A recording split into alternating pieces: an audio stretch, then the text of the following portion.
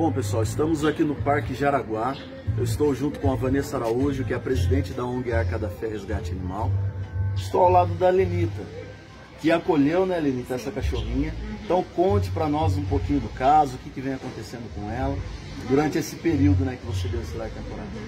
Ela estava aqui na rua, né, tadinha, e coloquei ela para dentro da minha casa, tentei um lar temporário, não consegui, infelizmente posso ficar com ela, ela tá magrinha, tá patinhas traseiras um pouco fraca, mas eu dei vitamina, fígado e ela deu uma levantadinha.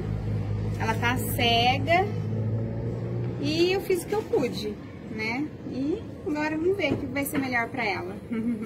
Então, parabéns pela atitude, tá? Em acolher até a nossa chegada. Uhum. Agora nós vamos para o atendimento veterinário. Continue acompanhando o nosso trabalho.